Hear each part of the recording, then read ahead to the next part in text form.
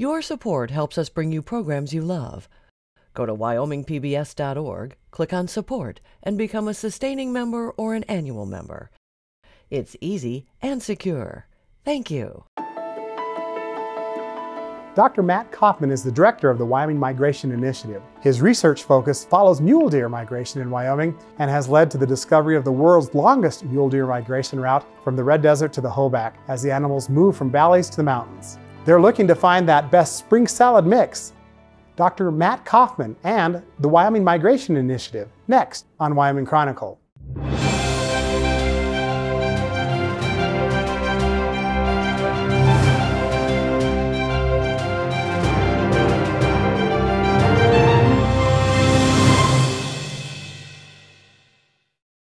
Support for Wyoming PBS is provided by the Matthew and Virgie O. Dragisevich Wyoming Foundation Trust, honoring the rich history and heritage of Wyoming. And as we begin this special Wyoming Chronicle, we want to remind our viewers that Nature's America Spring Live will debut beginning Monday, April 29th, Monday through Wednesday, beginning at 7 p.m. on Wyoming PBS. And we'll talk about the great rebirth of spring, not only across the country, but also here in Wyoming. And that leads us to our discussion today with Dr. Matt Kauffman, lead scientist at the Wyoming Migration Initiative and associate professor here at the University of Wyoming. Dr. Kauffman, welcome. Thanks for having me. You bet, it's our pleasure. Let's start with what is the Wyoming Migration Initiative, and then we'll get on to a little more of your research about mule deer and how they actually extend spring in Wyoming. Sure, you bet. Um, the Wyoming Migration Initiative is kind of a, an umbrella organization or, or an initiative that we started at the University of Wyoming in 2012. And I'm a wildlife researcher, and we had our group had been doing a lot of work uh, on Wyoming's migrations of, of the ungulate species, mule deer and elk and pronghorn, and we recognized that while we were sort of discovering new things about these migrations, uh, at the same time, there was a lot of interest in conserving the migrations and a lot of interest in just understanding the migrations from the public. And we recognized that our work and the work of others around the migrations wasn't really getting into the hands of the people who could use it to, for example, you know, identify better places to put in road crossings or modify fences to make them more, more wildlife friendly. Um, I think we've sort of learned that these corridors need a bit of management and, and attention, and the science wasn't really getting. There were, there were, people interested in doing that work, but the science wasn't getting there. So, um, the Wyoming Migration Initiative, we're primarily do research, but then what we do that's new is that we take that research and we try to translate it into tools and products that, that people can use, conservationists, wildlife managers, land managers can use to make better decisions about our corridors. And give me an example of how some of those, those tools have evolved. There's a Wyoming Atlas, there's mm-hmm. tools on a website. Tell me what's available. Yeah, so I think the, I mean, the, the primary tool is probably the corridors themselves. Um, these days, most of our work is done with collaring, right? So we capture these animals, we put a GPS collar on them, and the technology has really improved to the point where we can put a collar on the animal and then let it go, and for two or three years, that collar is recording its location every one or two hours. And so then when we get that data back, we have this beautiful path of where the animal, you know, the migration it made in the spring, and then the migration back in the fall, and then again the next year. And one of the things that those that that data shows us is that these animals have really high fidelity. They're really habitual. They do the same thing year after year. So even a 150 mile migration, um, you see them doing that same path, almost following their same footsteps in the next year.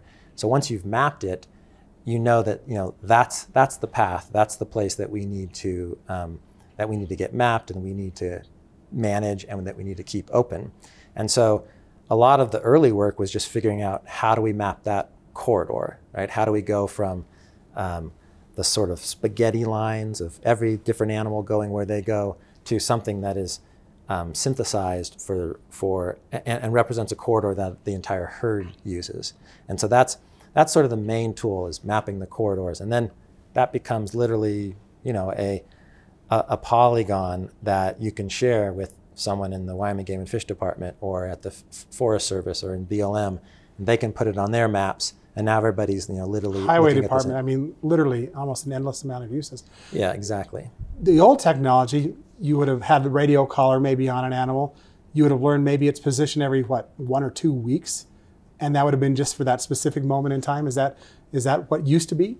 Yeah, exactly. I mean, there's actually, I mean, Wyoming has this rich history of of migration research. Um, starting actually back before um, the radio collars that you were just mentioning, they used to put neck bands on animals. And so, like the early researchers in the 50s, um, the Craigheads working on elk in Yellowstone, they would catch a bunch of elk and put colored neck bands on them.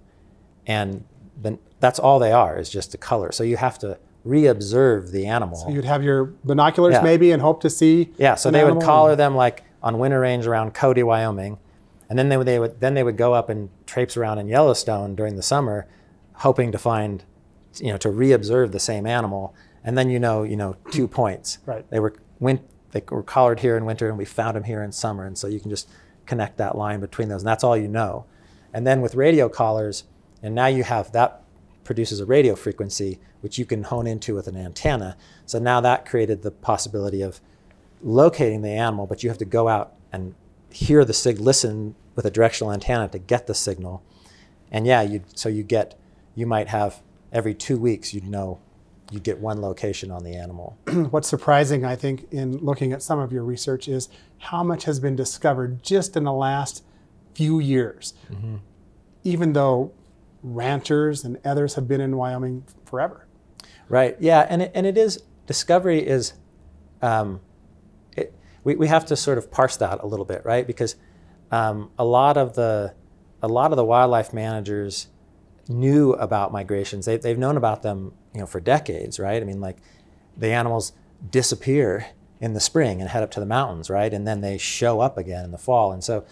Uh, and, and some of those early managers, like there's a there's a data set, a, a map from from Wyoming Game and Fish in the Jackson region where they've literally they used to go out and rake the snow every every day. To look for tracks? and then the next day go look for tracks and you know and, and record those mm-hmm. tracks on you know during the migration mm-hmm. record those tracks on a map. And uh, a colleague of mine with the game and fish showed me a map of of all of those you know all that data right? Hard fought mm-hmm. data. So they they knew you know they knew roughly where the animals were moving and roughly when it was happening but i think the thing that we're discovering now is really has to do with the detail with which you know now now we know their exact path and now we can map that exact path you know with with considerable precision.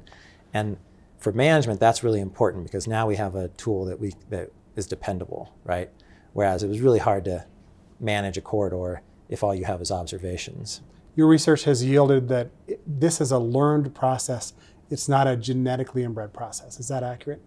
Yeah, yeah, that was um, a study we published just last year, and um, we've kind of had that inkling for a while that um, that mammals have to learn these types of movements, and, and that's different from birds. With birds, they've birds it is genetic. You can you can take birds out of out of the field, uh, take the the eggs out of the field, grow them up in a common garden or common environment, and when it's time to migrate, they'll migrate at the correct time and in the correct direction, you know, that their mother would, right? Even though there's been no teaching from their mother, so it's, it's you know it's genetically coded. But with mammals, it has to be learned, and um, and it wasn't quite known how that worked with um, you know with ungulates, and um, and we did a study with translocated bighorn sheep and and moose, and sure enough found that moose that had been uh, moose and bighorn sheep that were just translocated, even when they come from a, a habitat where they were migratory, they wouldn't migrate in the new habitat, and because they didn't have the cultural knowledge of how to do it. But then this was a really remarkable data set, and we could look across time and see that over decades they would they would learn to migrate and they would learn to follow the plant green up better. Um, so it is so they're capable of learning, but it but the cautionary tale there is it takes a long time. Like moose, it takes almost 80 years, close close to a century, for them to fully learn how to how to migrate on the Wyoming landscape and you know fully exploit the the green forage and escape snow and, and do all that you know sort of orchestrate that perfectly. So it takes it takes time. Yeah. What I wonder about is that um, everywhere land uses change. Mm-hmm. And do we know enough of how those migration routes then are impacted? Um, or is this research all to understand how to protect the migration um, corridors? Yeah, well, that's a great question. I mean, that's been a very active area of research for our group, um, trying to understand, uh, you know, the West. I mean, Wyoming's changing, the West is changing, right?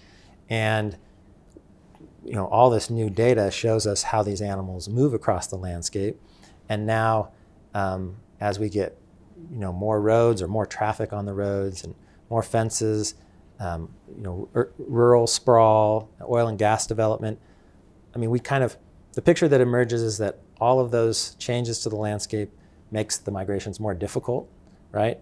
Um, because they're always responding to that human disturbance. A road, a, a vehicle goes by, or something that uh, wasn't there a year ago is there today, and what do we do? Right, exactly. So, um, and the and and we certainly know uh, we we our, our group has published several studies that that show that there is there is an impact there. The animals respond to that type of development. Um, sometimes they, they speed up and go faster. Sometimes they don't um, stop over and feed as much when they're in disturbed areas, especially with energy development. Um, but we also know that, that they do, for the most part, and this is with mule deer, they do continue to, to make it through. And so the question that, that is still sort of unanswered is, you know, how much change can you have on those landscapes and have the animals still, you know, make a viable migration, uh, a migration that's going to keep, you know, allowing them to put on as much fat as they need in the summer and to raise their young and everything, you know, still make a living. And that's kind of the, um, really the silver bullet that we've been working And, and we t- we've talked off camera about tipping point. And are you confident because of your research that corridors can be preserved, or are you worried that we might learn too late that a quarter corridor has been interrupted? Well, I, yeah. So you kind of asked two different questions there. I mean, I, I am, um, I am confident that corridors can be conserved, right? This is, this is kind of, um, in a lot of ways, like a, um, a real success of science-based wildlife management, right? Like, we know how to do this, right? We know how to map the corridors. Um, the animals use the same corridors year in and year out, so so once you figure out where that corridor is, you know, that's the place to invest our energy in, and that's the place to keep open, right? That's the path. Um, so we know how to do that, and we also know how to keep those corridors open, right? So in Wyoming, we've had several highway crossing projects that allow um, animals to get over the highway or go under them. Um, we know how to modify fences to make them more wildlife friendly. Um, there are land trusts in the state who are conserving big ranches. A lot of these corridors move across big private ranches. Um, we know how to prevent development on those. We even, when it comes to oil and gas development, we know uh, the companies do this all the time, directionally drill. So we can directionally drill a, around corridors and still access all of all of the the gas mm-hmm. that's underneath them without you know disturbing the surface. So like we know how to do this. We have all the pieces in place to do this.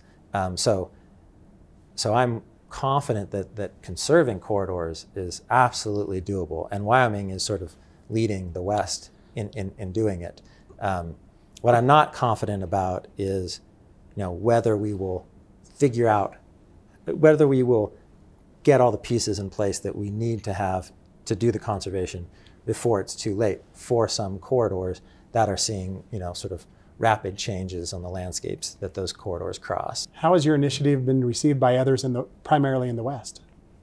Uh, very, very positively. Um, we've we there's other Western states that um, most Western states have migrate. You know, their big game herds migrate just like ours do, and for one reason or another, we've been a little bit ahead um, of mapping corridors. But other Western states have been picking up some of the tools like like the tools we've developed to actually map the corridors and um, other tools about uh, identifying threats along the in, in road crossings and fence uh, modifications, things like that. So other states have been sort of watching what Wyoming has been doing, and even um, you know some have started their own migration initiatives. Like Utah a couple years ago started its own Utah Migration Initiative, um, modeled after the Wyoming Migration Initiative. Who supports the Wyoming Migration Initiative? The Migration Initiative is uh, primary, primarily funded through foundations. Um, so a lot of our research is funded through traditional means, uh, partnering with the State Wildlife Agency, um, the U.S. Geological Survey, um, a lot of sportsman groups like Rocky Mountain Elk Foundation, Muley Fanatics. A lot of those groups help the, fund the collaring studies, but there's several private foundations that have really sort of stepped up um, and and bought into this idea of you know translating the science and helping the public learn more about the migrations. What do we know about how other events impact migration corridors? Climate change, predators, other unforeseen wildlife management decisions. What have we learned in the last few years? Boy, that's kind of a big question. Um, I think so. We, we, do we do we get sort of aspects of this question a, a fair bit, and and um, and like for example with predators, right? You know, like um, often people are curious, like, well, if there's a wolf pack that sure. sets up there, does that alter the migration? And and with climate change, the same thing. You know, these animals that uh, when plants green up is really important to a mule deer, which is always trying to find the fresh uh, green grass. And I think what we what we have seen is that um, the migrations are so important, like that actual path is so important that the way I think about it is that that's the template for the animal's annual movement, right? So they're going to follow that path in the spring, and then they're going to follow it back in the fall. And there aren't that many things that will um, really alter that movement. So if they hit a, if they run into predators, you know, they'll stop. Maybe they'll stop and wait for a day until the predators pass, but then continue on rather than deviate. Or like with climate change, you know, climate change is making green up come faster. So they, they, they're not going to abandon that migration corridor. They'll still use it. They'll just shift their timing of how they move it. And in fact, you know, I like to think of migration as sort of being a great adaptation to climate change because if you, have, you know, a spring green up in the plains or the sagebrush basins and you have access to one that's up in the mountains, you have this huge gradient that you can exploit as climate change is sort of reshuffling things, as opposed to a resident animal that just lives in one place year round. I want to talk about your research with mule deer yep. how they're able to extend spring mm-hmm. By essentially doing what you were just referring to, um, looking for that, you've called it the spring salad mix yep. that allows them to get fatter. Right. Um, how did you come upon that um, research and why does it interest you and what have you learned?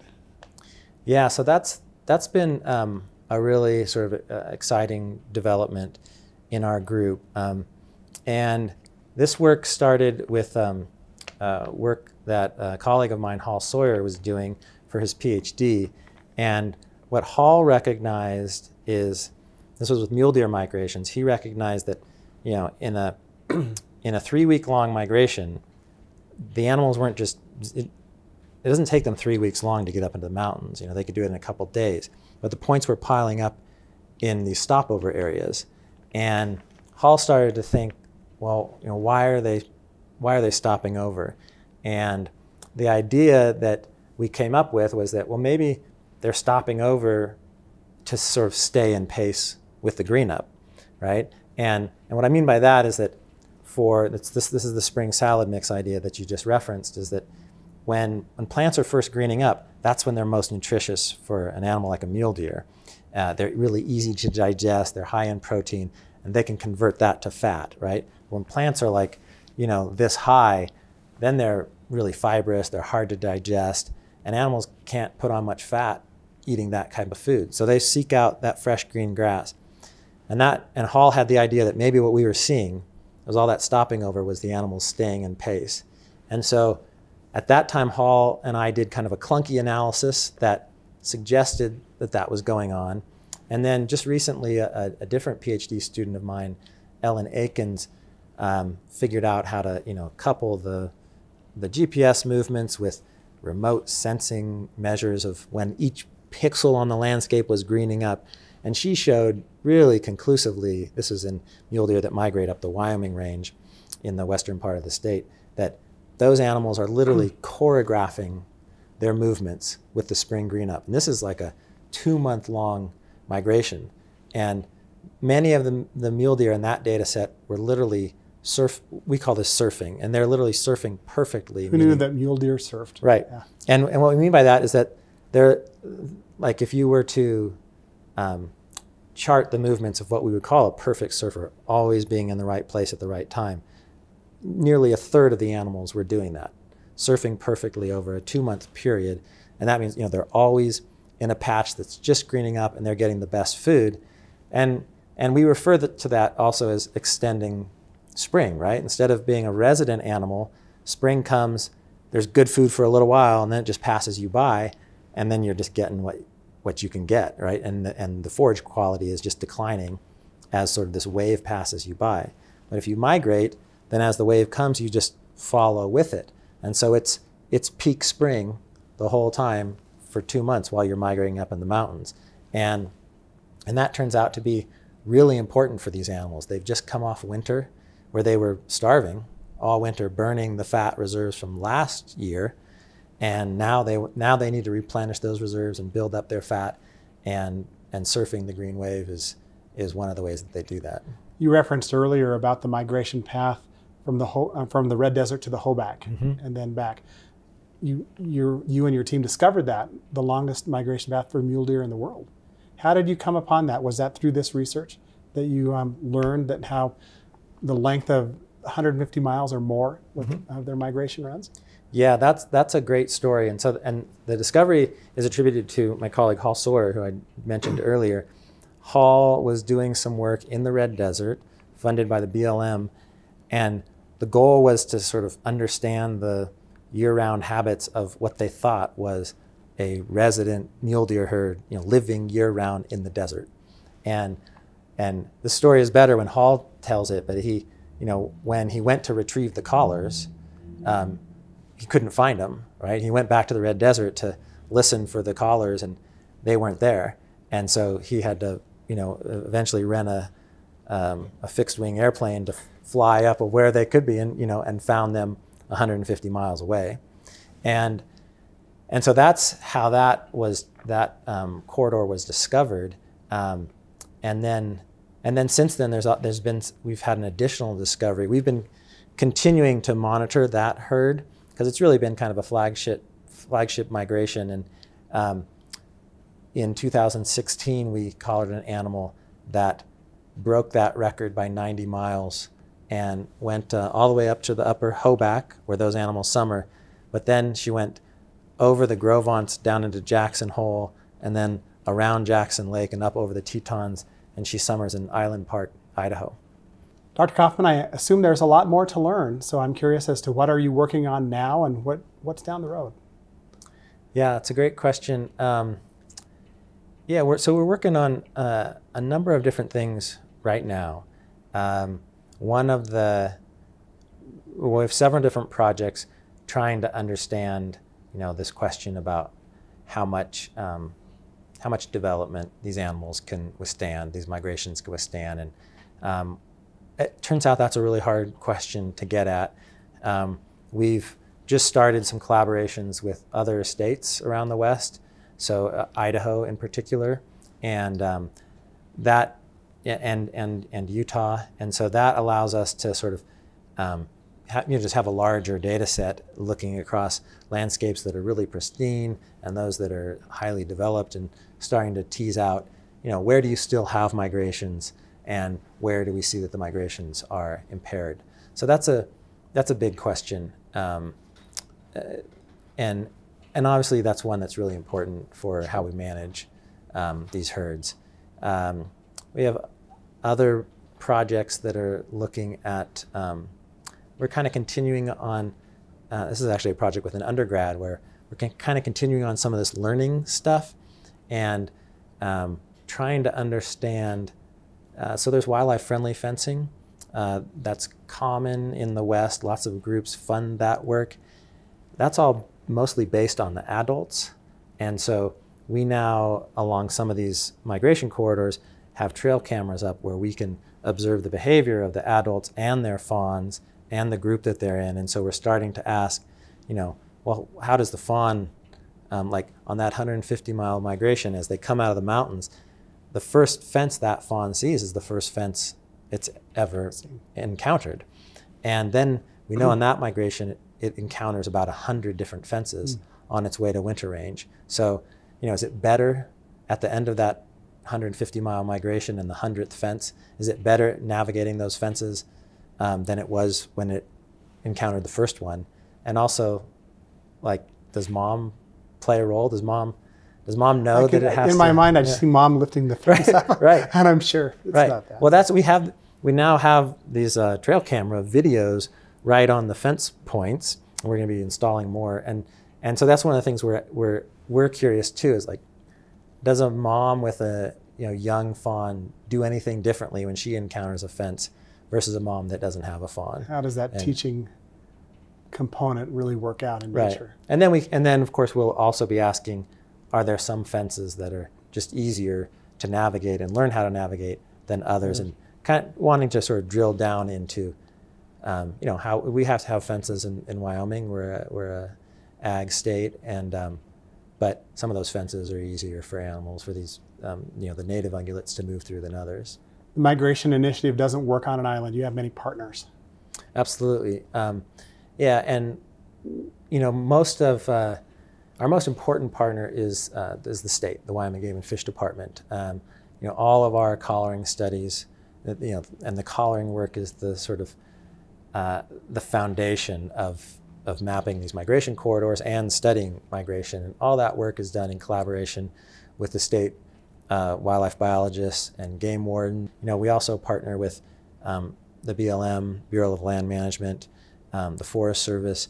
Uh, these uh, the National Park Service, Yellowstone and Grand Teton. And that's one of the things you, you sort of you sort of have to do that when you study migration because because these migrations connect all these different land ownership uh, types, which are which are all managed by different groups. Um, and then the other one to mention is that there's there's a lot of sportsman groups that um, are really tuned into these migrations and they sort of recognize that maintaining migrations is an important part about sustaining the productivity of big game herds. And a lot of those groups like Rocky Mountain Elk Foundation and Muley Fanatic Foundation, Wild Sheep Foundation, and others raise money to help fund the research and discovery and mapping of these migration corridors as well. Dr. Matt Kauffman, throughout the show, we've listed resources that people can go to to find more information, but the simple place is just to go to the Wyoming Migration Initiative and start there and look at the resources that are available. Yep, absolutely. Migrationinitiative.org. It's fascinating work. Thank you so much for joining us today on Wyoming Chronicle. You bet. Thanks for having me.